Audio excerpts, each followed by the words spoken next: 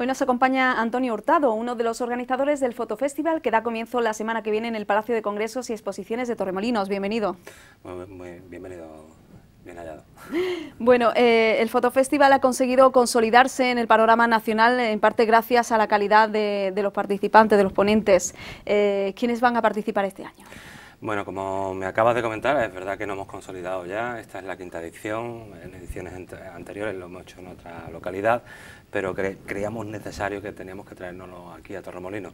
Eh, dentro de, los ponentes, de los fotógrafos importantes que vienen este, este año a Fotofestival, bueno, pues eh, como bandera de, esta quinta edición traemos a Eugenio Recuenco, ¿vale? Eh, traemos a Joana Viarnés, traemos a Colita, Fernando Bayona y así hasta 12, 12 ponentes de, primerísimo nivel de unos fotógrafos súper interesantes todos de conocer.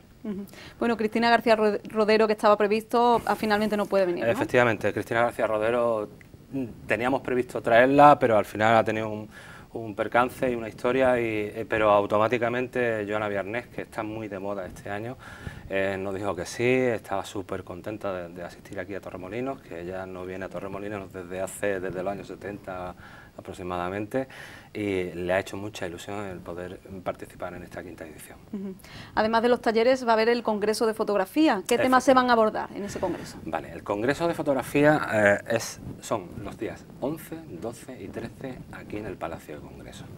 el Congreso básicamente es, eh, son los 12 fotógrafos durante los dos días y medio que dura y van a realizar su experiencia como fotógrafo.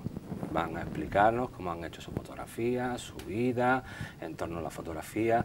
Es algo muy, muy, muy personal de cada uno, ¿vale? Y ellos van a explicar eh, todo lo que todo lo que en, su, en su, vida han, estado haciendo en la fotografía.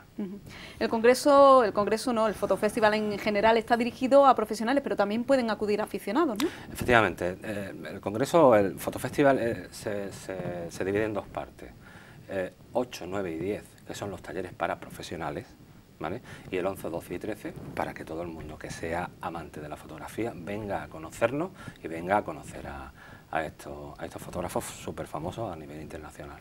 Es una oportunidad única. Eh, ¿Todavía quedan plazas? ¿La gente puede todavía...? Sí, todavía quedan plazas para Fotofestival. Eh, es más, si quieren mirar en nuestra página web www.fotofestival.es y quedan, quedan unas pocas de plazas todavía.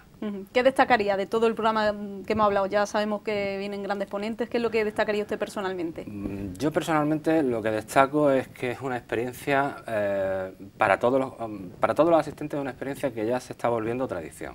¿vale? Todos los años vienen mucha gente, viene gente de, de, Madrid, viene gente de Barcelona, viene gente de Bilbao, viene gente de Soria, viene gente de toda España a reunirse. Ya vienen exclusivamente también a verse entre ellos y a disfrutar de todo lo que, lo que nosotros aportamos. Pues muchísimas gracias, estamos seguros de que volverá a ser un éxito. Muchas gracias por haber estado hoy aquí. Muchas gracias a vosotros. Y nosotros, como siempre, continuamos con nuestro compañero Jorge Moreno y los deportes.